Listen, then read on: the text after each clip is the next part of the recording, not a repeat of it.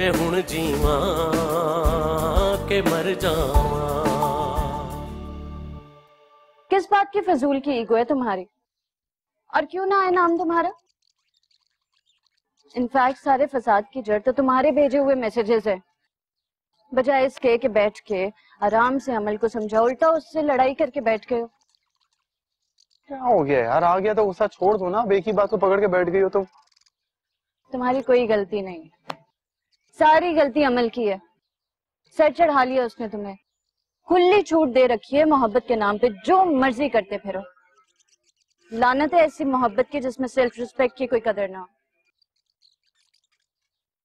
क्या? क्यों मुस्कुरा रहे हो? पिछले 25 सेकंड से तुम मुझे बुरा बोलना चाह रही हो अमल को बुरा बोल रही हो। पहले सोच लो डिसाइड कर लो कौन गलत है फिर डांट लेना आराम से।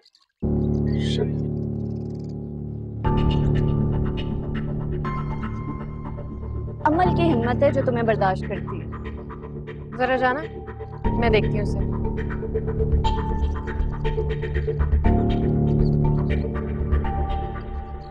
लड़ो। जितना लड़ना है लड़ो। जितना गुस्सा अंदर भरा हुआ है ना सब निकाल दो।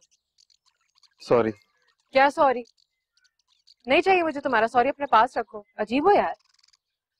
सारी रात में इंतज़ार करती रही कि अब तुम मुझे फ़ोन करोगे अब करोगे। लेकिन आपका गुस्सा ठंडा ही नहीं हुआ और आपने मुझे बात करने के काबिल ही नहीं समझा। तो मैं सो गया था रात में। क्या? मेरी नींद खराब करके तुम सो गए हो। तुम मुझे पिक भी नहीं करने आए। तुम समझते क्या अपने आप को? मैं सारी रात टेंशन में रही हूँ और तुम यहाँ मिनाल के साथ दांत निकाल रहे हो। तुम जलिस हो रही हो मिनाल से? तुम्हारी साइड लेके गई है वो। पूछ लो उससे। मैं तुम्हें लास्ट वार्निंग दे रही हूँ हैदर। सुधर जाओ। तो मुझे खुशी है कि मेरी बेटी आप जैसे स्टूडेंट्स के साथ नहीं पढ़ती जो अपने टीचर्स को इतने घटिया मैसेजेस टेक्स्ट करते। हैं।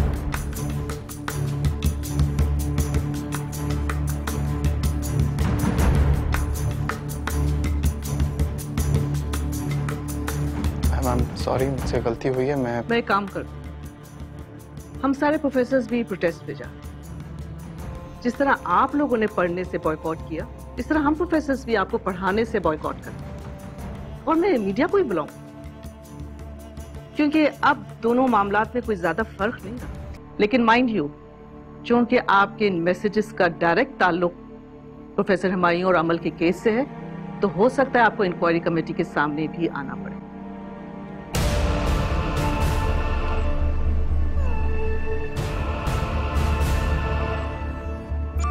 मेरा अगर वहाँ जाना मुनासिब नहीं है तो वाई टू इंसिस्ट मैं और गना आपके बगैर नहीं जाएँगे। तुम्हें पता है कि मैं इस तरह के फ़ंक्शंस अटेंड नहीं करता हूँ तो फिर क्यों हुमायूं वेर नॉट गोइंग बस दैट्स इट खत्म हो गई ना बात। End of story and listen Ayesha तुम रिजवान के आगे मजबूर ज़रूर होगी मैं हुमायूं के आगे बिल्कुल मजबूर नहीं हूँ। Because we are partners actually this man is my better half मैं मिसेस सायरा हुमायूं हूँ। ये मेरी शनाख्त है। जिसको शनाख्त के साथ मिलना है ना मुझे सौ दफ़ा मिले। नहीं मिलना? ना मिले। शनाख्त सिर्फ़ तुम्हारी एक की नहीं है।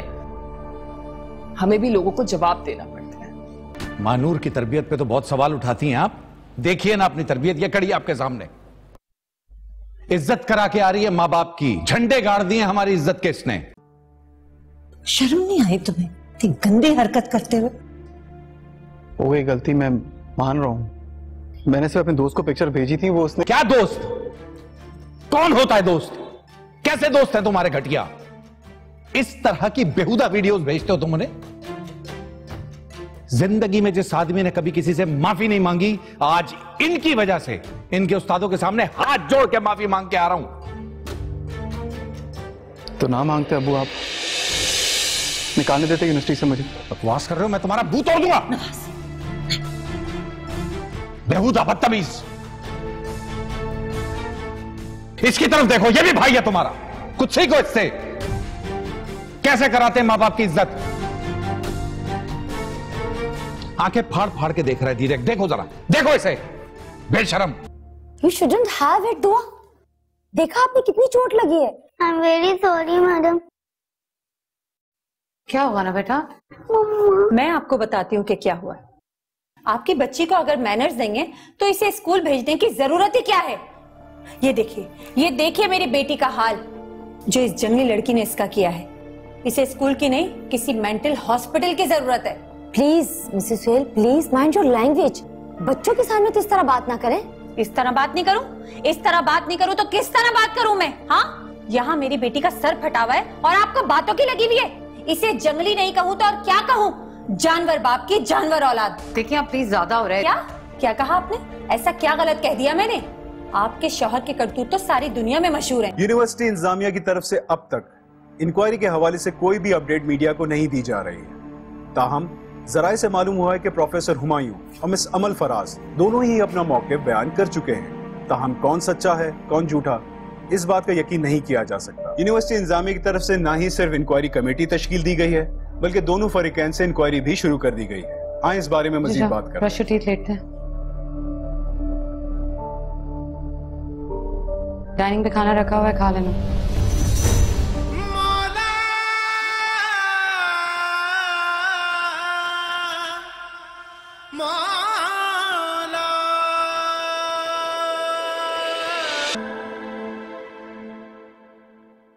चल यार वो वीडियो मैसेज हमें भी तो फॉरवर्ड कर दे।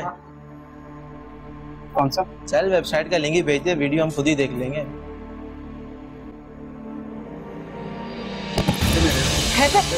क्या बात कर हैदर हैदर हैदर चलो यार बोलो क्या कर रहे हो?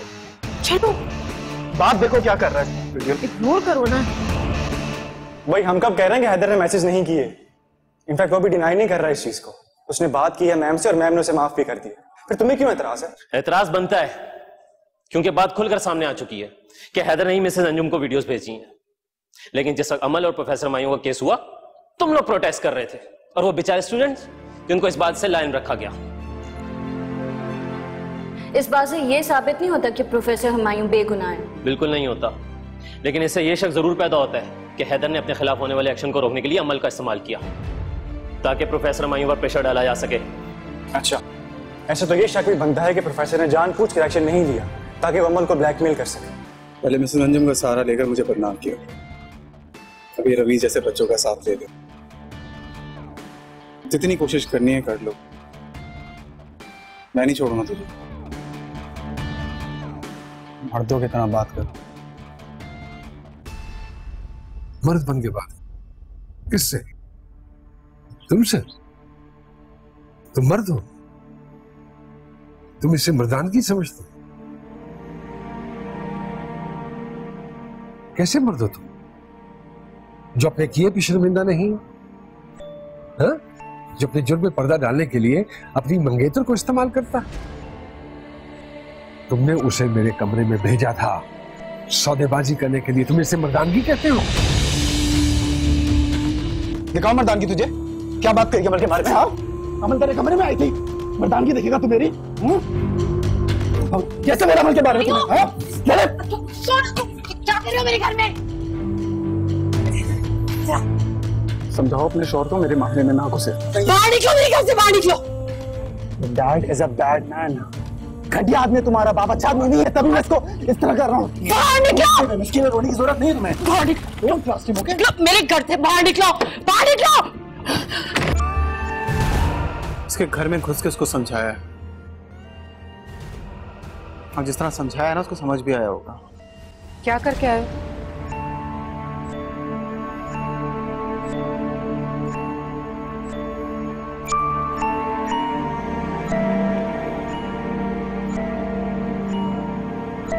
बार वेट कर रहा हूँ मैं तुम्हारा यार आओ कि टाइम नहीं है इन चीज़ों का।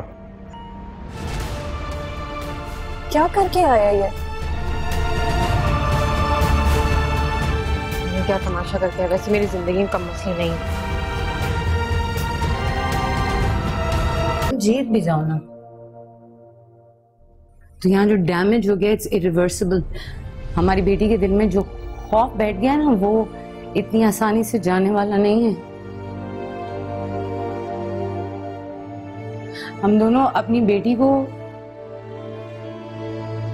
तहफ़ुज़ का एहसास नहीं दिला सके।